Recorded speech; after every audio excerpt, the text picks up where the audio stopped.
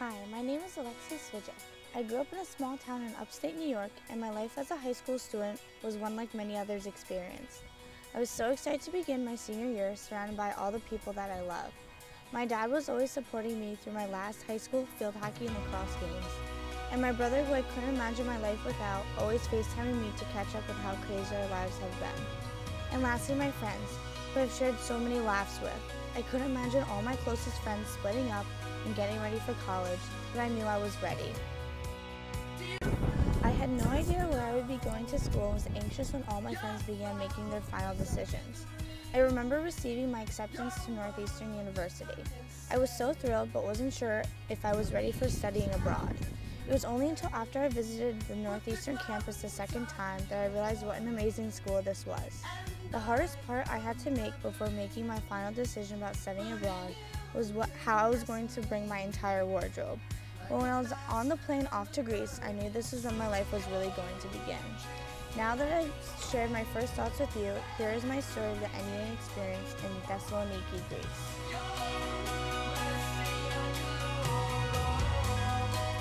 Stepping off the plane in Thessaloniki was unreal. The first day, I began taking in the city and all that it had to offer. The welcoming community that existed here made for an easier transition. I was excited to explore and to meet other students, many students of whom I know would be lifelong friends. As I walked around the city, it was crazy to grasp the idea that I would be living here for the next three months.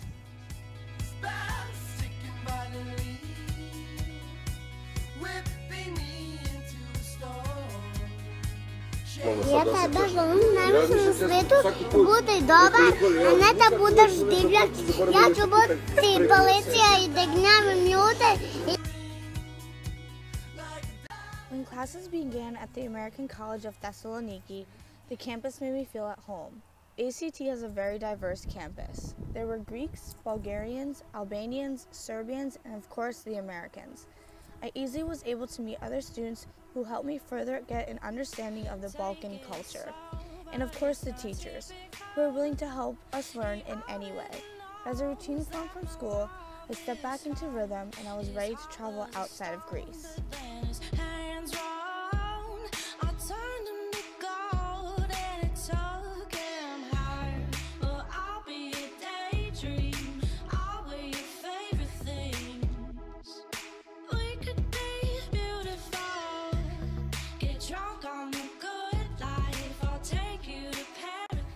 Unforgettable planned excursion was hiking Mount Olympus. It was by far one of my biggest challenges I have faced. It required determination and strength to be able to accomplish such a large task. With many close friends by my side, I was happy to have gone on such a fun and challenging experience.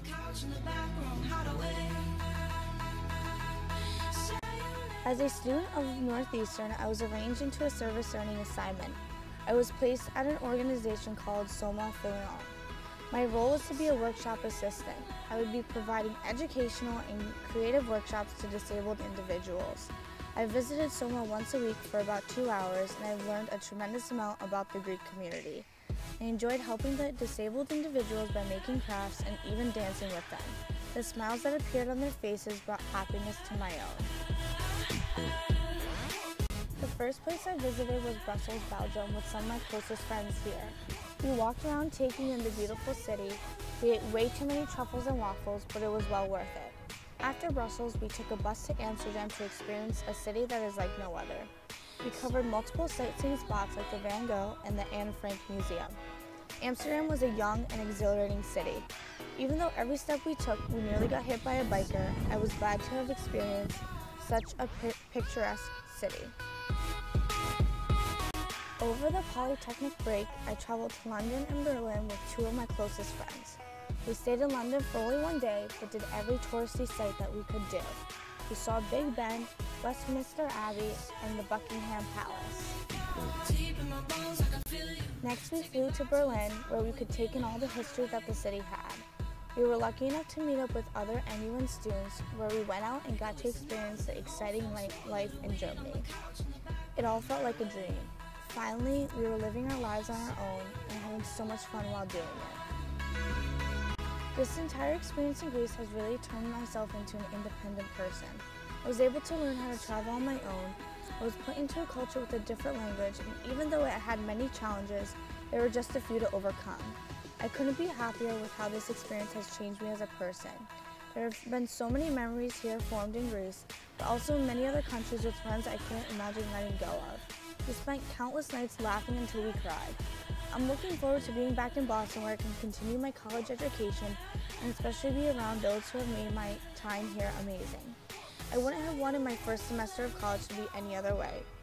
We already built our big family, but I'm so excited to see what else is to come. Well, Boston, here we come.